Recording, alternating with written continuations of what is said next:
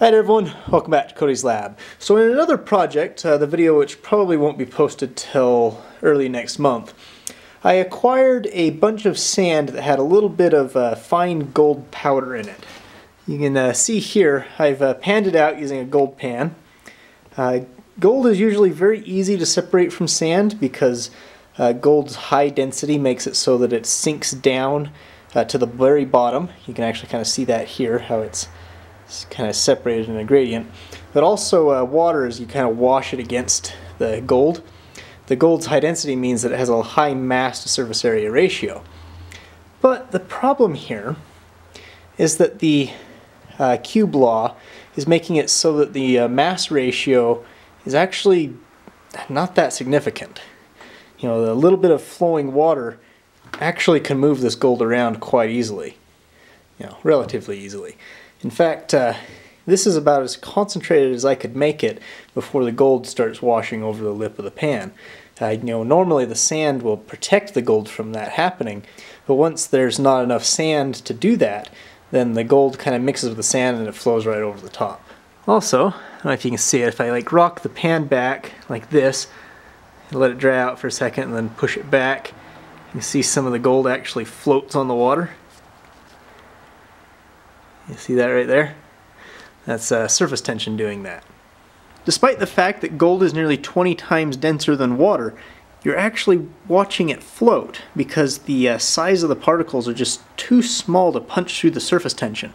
I can break that up by adding a little bit of soap.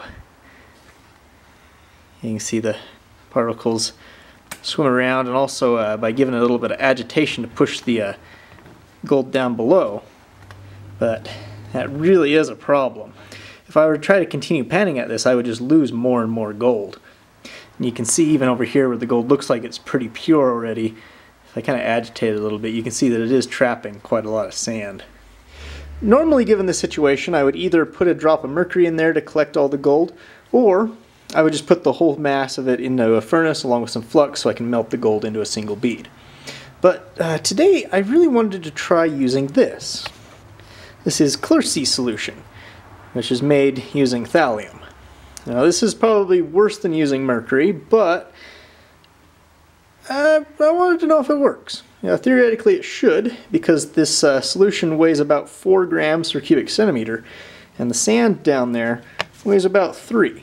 And gold, of course, which is much heavier than 4, will sink. So let me uh, dry off all this water here and transfer it into a test tube Let's see what happens when I combine it with the heavy liquid. Let's see if this will make the sand float. Alright. There's uh, about two milliliters worth. Let's get that mixed in there. Oh, I see what's happened.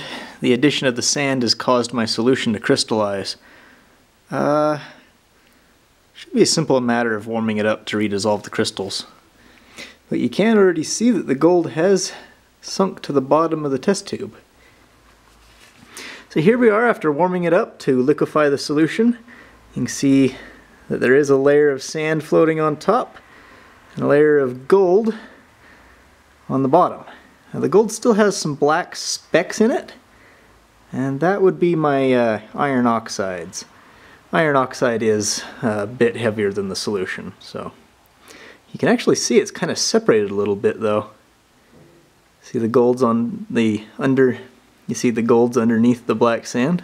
so now I'll just uh, pull this off with a pipette and we can wash this with water to remove the thallium.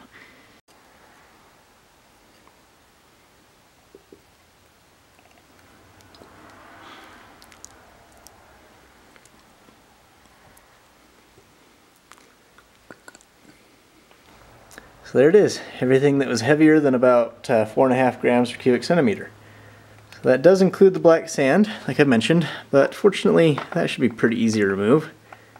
Just uh, use a magnet. There does seem to be a few non-magnetic grains. That's probably hematite or some other heavy mineral. Looks like there might be a few zircon crystals in the mix. But that is pretty much pure gold. And certainly if I melted this down, it would melt down into a bead of gold just fine. It'd still need to be refined, maybe run through acid to get rid of everything else, but there you go. It's mostly pure gold. The Clerici solution is of course completely reusable. I'll just uh, dilute it with water to lower its density so that the sand sinks, just as you can see I've done there. And I'll just wash the remaining solution out of the sand. After a few washings I'm left with some clean sand that uh, should have very little thallium left. So this would be safe to dispose of. And of course I have some really dilute Clerici solution that is maybe got a little bit of dirt suspended in it. I will have to filter and evaporate this down before I can use it again. But that's not really a problem. So let's see how much gold I was able to recover.